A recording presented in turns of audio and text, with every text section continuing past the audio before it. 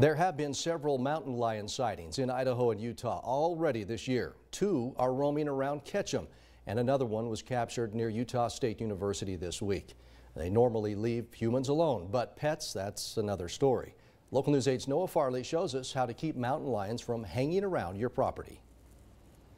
We share the gem state with mountain lions, also known as cougars and pumas. Fortunately, it's very rare for them to attack people, but Idaho Fish and Game fears mountain lions could attack people if they get comfortable enough around them. A few years ago, a mountain lion in Ammon became a problem when it no longer feared humans. It was euthanized and is now on display at the Museum of Idaho. They contemplated actually drugging it to relocate it and the more time they spent, they didn't think that was even a good idea because even if it was relocated, the odds were that it still didn't have that fear of man. The best way people can keep mountain lions off their property is by not leaving food out or giving them places to hide.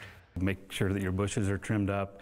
Uh, if you have like a porch or a deck area, putting some screening around the edges can be helpful so there's no place for them uh, to hide. Most cats are active at night, and if there's a motion light that pops on, uh, oftentimes that can scare them away. If you have pets, Brower recommends feeding them inside and having them on a leash when they're outside so they don't chase mountain lions. If you do encounter a mountain lion, maintain eye contact and back away from it.